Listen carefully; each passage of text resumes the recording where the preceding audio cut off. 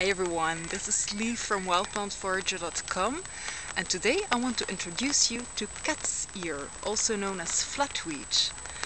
And as you can see, this is a dandelion look-alike, but it has one huge difference and this you can see here, it has a forked stem, so it can have two or more flowers on one stem, whereas dandelion always has one flower on each stem. And here you can see the leaves and they are also quite different. Here you can see the dandelion leaves. They're all dandelion leaves, even though they look a little bit different, but they're all dandelion. And here I've lined up some cat's ears leaves. And the main difference, there's a little difference in the shape there, as you can see. But the main difference is that these plants have hairy leaves and dandelions always have smooth leaves. They actually may remind you a little bit of the inside of a cat's ear. This is why they are called cat's ear. And um, you can really, you can just feel them. And if you rub the leaves of dandelion, you can really feel that there are not any hairs at all. So this is a good way to tell the difference. And another way to tell the difference is that Dandelions mostly flower in May and when dandelions are finished then cat's ears start to flower. And it's really now it's June here and this is really their time to flower.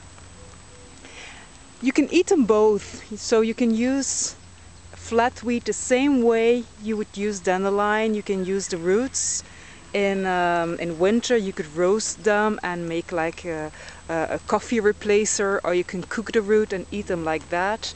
You can eat the leaves before the plant flowers and um, they're a great addition to salads or to green juices. And you can also and this is now really the time these are the flower buds. You can either pickle them or just eat like like they are.